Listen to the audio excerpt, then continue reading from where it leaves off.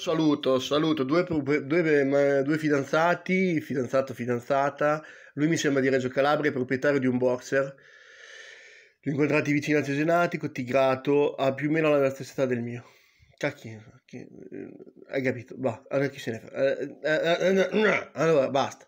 Sei un bel cane, eh, tigrato con le macchie bianche. Allora, ero col pandino.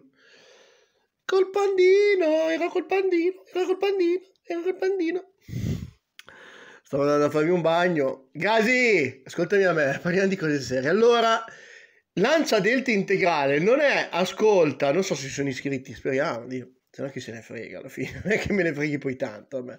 Allora, praticamente, mh, mm, lancia delta, evo, così via. Quando sento parlare di numerazioni mi tocco il deretano. Allora, cioè, anche un Rolex è numerato, ma chi se ne frega, numerato, non numerato, raro, non raro, ma che, che categorie sono?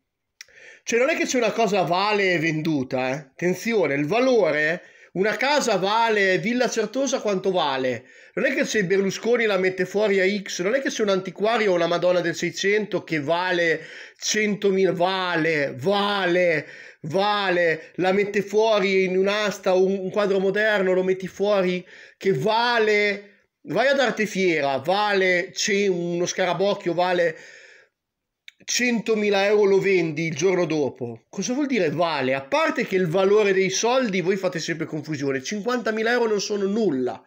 Sì, non sono niente. Per uno che ha i soldi, 100.000 euro per vacchi, 200.000 euro non sono nulla. Nulla. Nulla. Non sono, ne, può avere, ne può comprare mille di, di lancia delta integrali Evo, Evo 10. Se vai in Costa Smeralda ci sono, c'è gente che ha, ha, dei, ha dei, delle patacche al polso che valgono come, come 20 appartamenti vostri messi assieme. Cioè voi avete un concetto del denaro che è ridicolo. Il denaro vale in proporzione a quanto uno ne ha.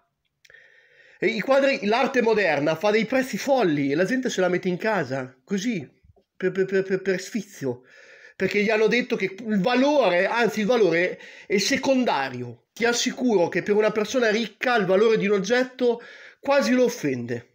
Tu quasi lo offendi a una persona ricca. E chi, chi, è che compra l'Instant Classic? I ricchi. Quindi a me il valore di un'auto me ne frega. Tanto la comprano i ricchi. I ricchi hanno un, valo- hanno un concetto del denaro.